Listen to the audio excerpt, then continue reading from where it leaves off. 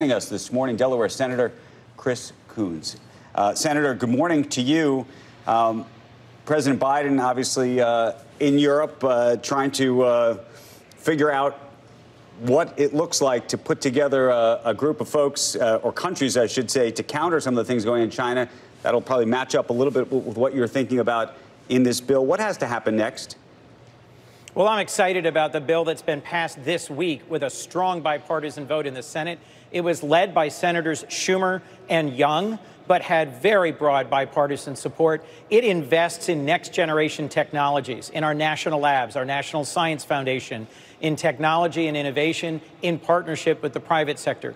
And President Biden this week in Europe will be meeting with our most important allies and pulling together the democracies who need to stand up to Russia and its aggression and need to have a common strategy for how to outcompete China in this century.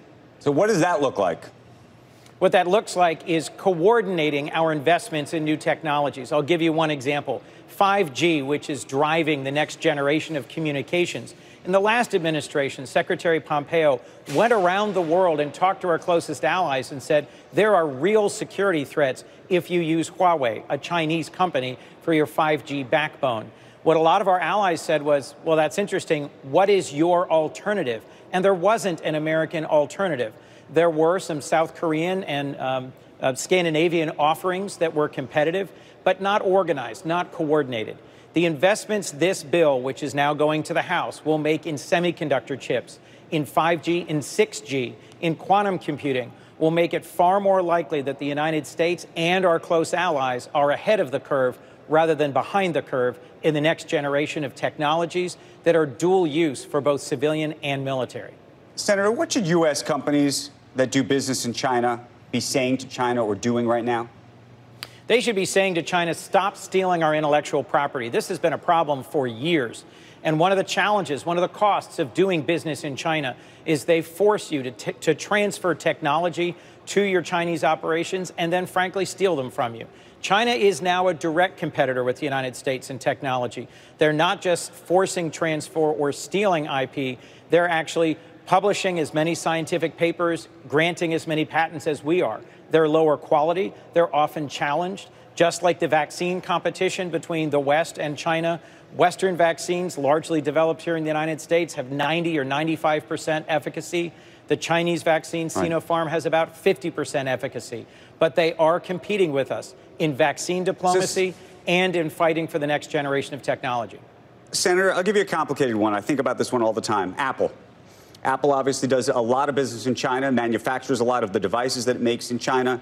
Um, recently put in some new privacy policies right here in the United States. Those policies don't apply in China. And I think to myself, should they be pushing back on that in China? If they were to push back on that in China, they probably wouldn't have a business in China. And so, what is the right balance in that type of conversation? Well, that is exactly the challenge our largest uh, global multinational companies face um, companies like Google and Cisco and Apple that manufacture and operate both in the United States and in China. The most important Great Wall of China for this century is the Great Firewall of China that they use to block off the internet in China and require censorship um, and use it to coordinate um, surveillance and repression of their own people. Um, the aggression against uh, the Uyghurs in Xinjiang province, which this administration and the previous one have called a genocide the repression of democracy in Hong Kong. If you're a company like Apple or Google that is trying to operate in both countries, you are facing increasingly difficult questions in the West about what you're doing to help facilitate the repression of human rights and democracy but, in China and by the Chinese in other places around the world. But what's the answer? And by the way, just as a point of clarification, I don't believe that Google is doing business in China, but we can change it up and talk about Starbucks Forgive if you me. like, or Apple. Forgive me. Right. No, no, it's okay. Um, but one of the challenges that we're seeing is that in the Soviet era, when the United States and the Soviet Union were in a Cold War, we had decoupling of our economies and technology because of decades of our trying to get our companies um, robustly into China. Uh, we're deeply interconnected with China and right. the Chinese market.